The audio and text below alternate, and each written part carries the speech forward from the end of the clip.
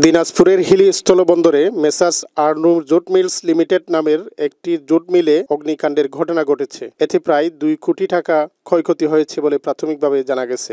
আট অক্টোবর সোমবার সকাল আটটার সময় বন্দরের পালপাড়ায় অবস্থিত এই জুট মিলে অগ্নিকাণ্ডের ঘটনা ঘটে। পরে ফায়ার সার্ভিস এসে আগুন নিয়ন্ত্রণে আনে। স্থানীয় ও ফায়ার সার্ভিস সূত্র জানিয়েছে, সকালে মিল চালু থাকা অবস্থায় হঠাৎ শর্ট সার্কিট থেকে আগুনের সূত্রপাত ঘটে। ফায়ার সার্ভিসের কর্মীরা এক ঘণ্টা চেষ্টার পর আগুন নিয়ন্ত্রণে আনতে সক্ষম হন। জিট মিলে আগুন লাগার পরে আমরা খবর পাওয়ার পরে আমরা ঘটনাস্থলে গিয়ে প্রথমত প্রথম কাল পানিবাহী গাড়ি দ্বারা পানি সেট করি তারপরে আমাদের ফায়ার স্টেশনের ভেতরে যে সেফটি ট্যাঙ্কি আছে পানির সেফটি ট্যাঙ্কি আছে রিজার্ভার সেখান থেকে আমরা আমাদের পাম্প দিয়ে ঘটনাস্থলে পানি নিয়ে আমরা আগুন নির্বাপন করি।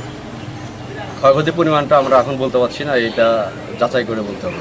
আগুনটা কি আগুনটা লাগার কারণ ধারণা করা হচ্ছে এটা যান্ত্রিক ঘর্ষণের কারণে। মেশিনারি জিনিসের ঘর্ষণের কারণে আগুনটা লাগতে পারে। পৌনে সাত, পৌনে আটটার দিকে আগুনটা ধরে। এখন এটা একটা শর্ট সার্কিট হয়েছে আমাদের পিছনে বেসিং সাইড থেকে। হওয়ার পরে আস্তে আস্তে আগুনটা ছড়াই গেছে।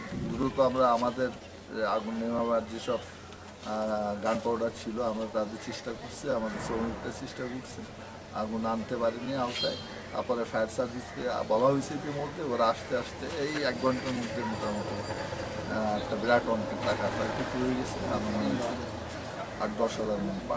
দিনাজপুর প্রতিনিধি মোহাম্মদ সামিউল আলমের তথ্যচিত্রে ডেস্ক রিপোর্ট এস